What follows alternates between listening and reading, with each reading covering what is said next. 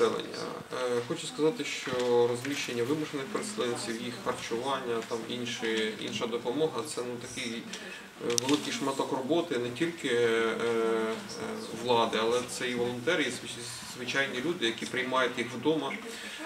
І вони якраз всі разом ми от синергетично допомагаємо людям, які втратили свою домівку під час російської агресії. Що робимо ми? Ми даємо прихисток комунальних закладах, ми людей тричі годуємо на день. Все безкоштовно. Е, Те ж саме бізнес допомагає, наприклад, власники готелів вони дають теж там дуже велику знижку. Я чув цифри до 75% в Полтаві.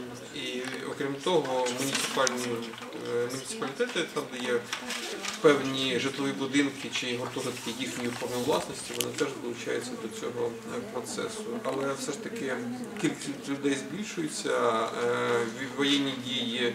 Вони перемістилися на схід та південний схід.